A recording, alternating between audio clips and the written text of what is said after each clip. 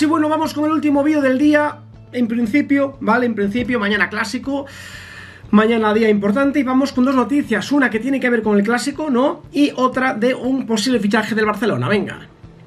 Vamos a ello.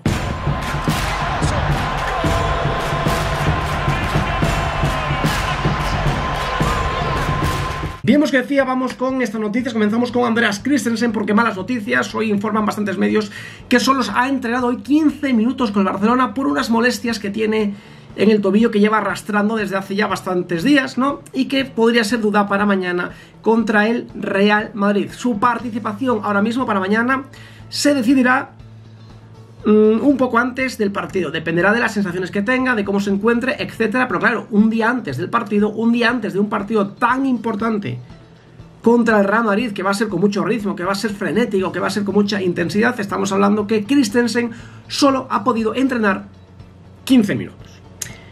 Es un problema bastante grave y es un jugador que para nosotros es fundamental.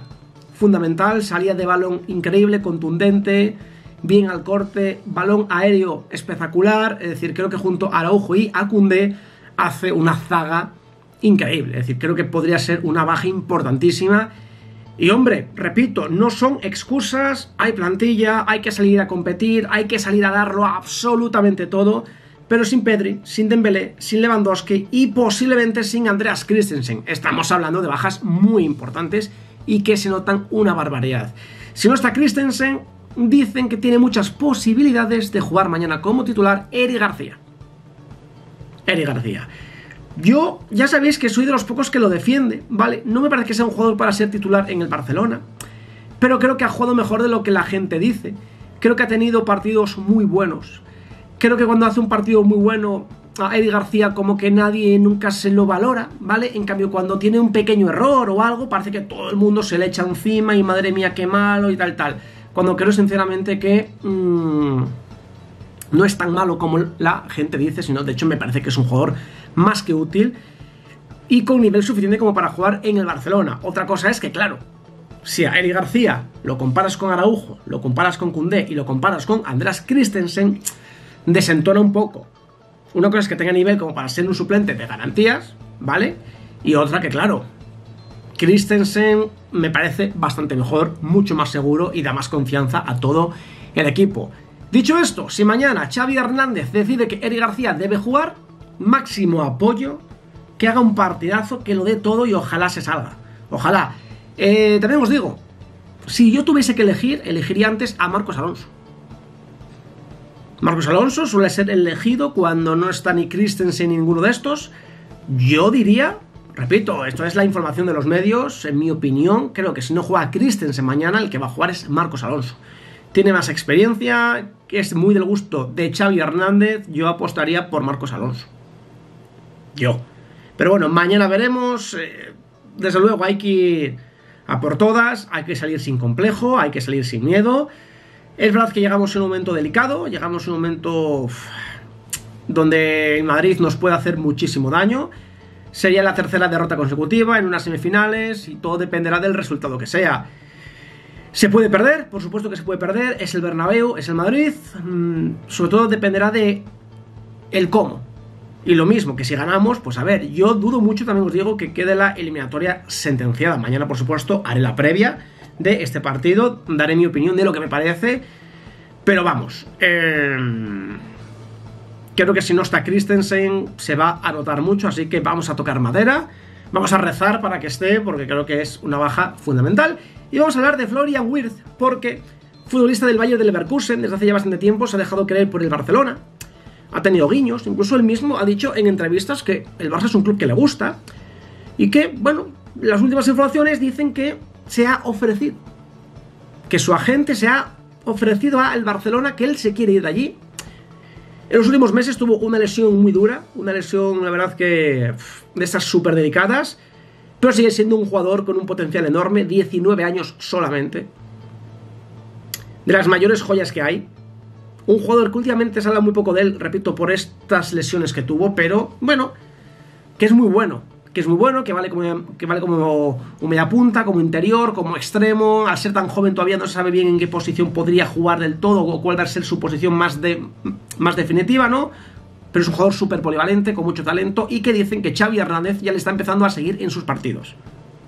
Que Xavi Hernández ve todos sus partidos ya desde hace semanas. Que lo está siguiendo muy de cerca y que incluso dicen que el Barça estaría dispuesto a pagar unos 20 millones de euros por su traspaso. Que también os digo, 20 millones de euros, con todo el respeto del mundo, yo creo que el Barça no ficha a este jugador. Porque tiene equipos que están detrás de él, equipos muy interesados, el Leverkusen es un equipo que lo pone siempre complicado, que es un club vendedor, pero que vende muy bien.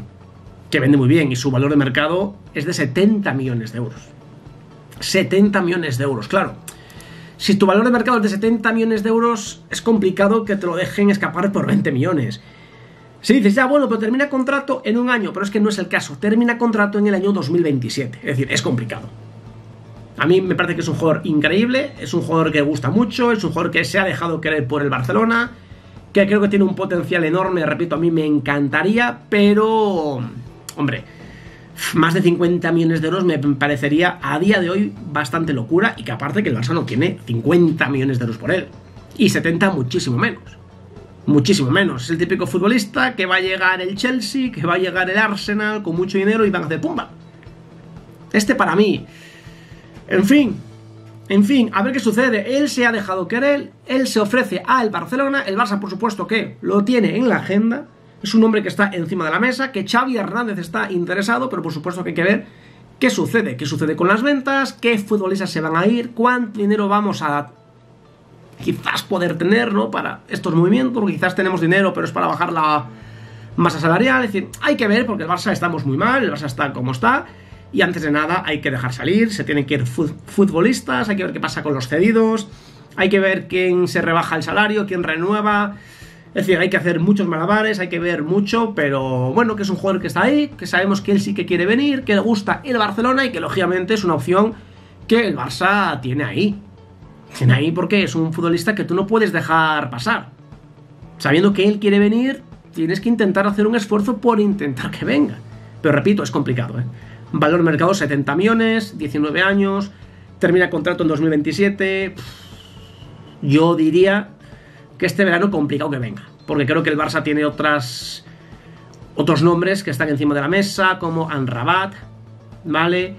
Vitor Roque, eh, yo creo que el Barça va a buscar otro lateral. Pues yo creo que, bueno, para un futuro puede ser que sí, es decir, vamos a ponerle un año más, dos. Pero yo, si tuviese que apostar algo, yo creo que este verano no vendrá. Pero bueno, es mi opinión. Ahora, por supuesto, quiero saber la vuestra, qué os parece, como lo veis, ya sabéis, un enorme like. Suscribiros a este eh, canal si no lo estáis y por supuesto nos vemos en el siguiente vídeo. Venga, un saludo.